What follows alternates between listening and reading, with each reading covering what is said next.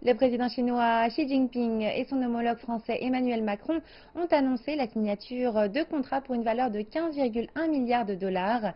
Ils s'étendent à des secteurs tels que l'aéronautique, l'énergie et l'environnement.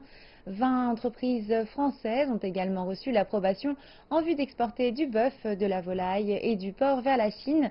Les accords ont été conclus lors de la visite du président Macron cette semaine en Chine. Le président Macron a aussi prononcé un discours lors de la cérémonie d'ouverture de la deuxième exposition internationale d'importation de la Chine qui se tient actuellement à Shanghai.